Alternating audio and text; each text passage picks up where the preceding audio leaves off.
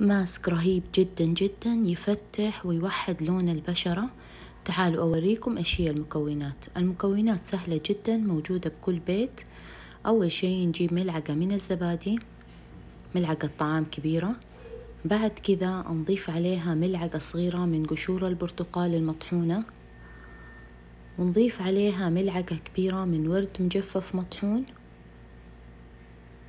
نخلط المكونات كلها مع بعض وإذا حسيتوا إن القوام ثقيل ممكن تضيفون عليها زبادي لحد ما يصير القوام وسط ويسهل استخدامه بعد ما خلطنا المكونات كلها مع بعض يوضع على اليدين ويوضع على البشرة ويوضع على الرقبة ويترك تقريبا لمدة ثلاثين دقيقة.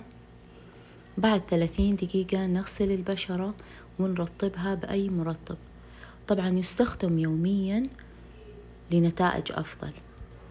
اذكروا الله بالتعليقات وصلوا على رسوله الكريم. اللهم صل وسلم على نبينا محمد. ولا تنسون الاشتراك في قناتي وتفعيل زر الجرس حتى يصلكم كل جديد.